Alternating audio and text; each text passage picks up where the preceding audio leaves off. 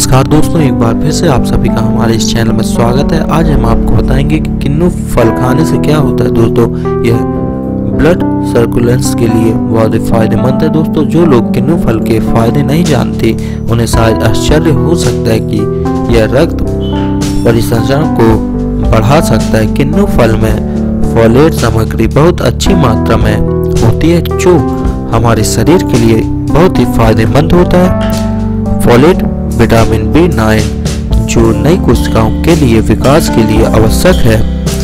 Folate शरीर में नई कोशिकाओं के उत्पादन के साथ ही लाल रक्त, कोशिकाओं की वृद्धि और निर्माण करता है। उम्मीद है दोस्तों, आपको दी गई जानकारी पसंद आई होगी। यदि आप हमारी यह वीडियो यूट्यूब पर देख रहे हैं तो चैनल को सब्सक्राइब कीजिए। और यदि आप हमारी यह वीडियो फेसबुक पर देख रहे हैं तो पेज को लाइक कीजिए। धन्यवाद।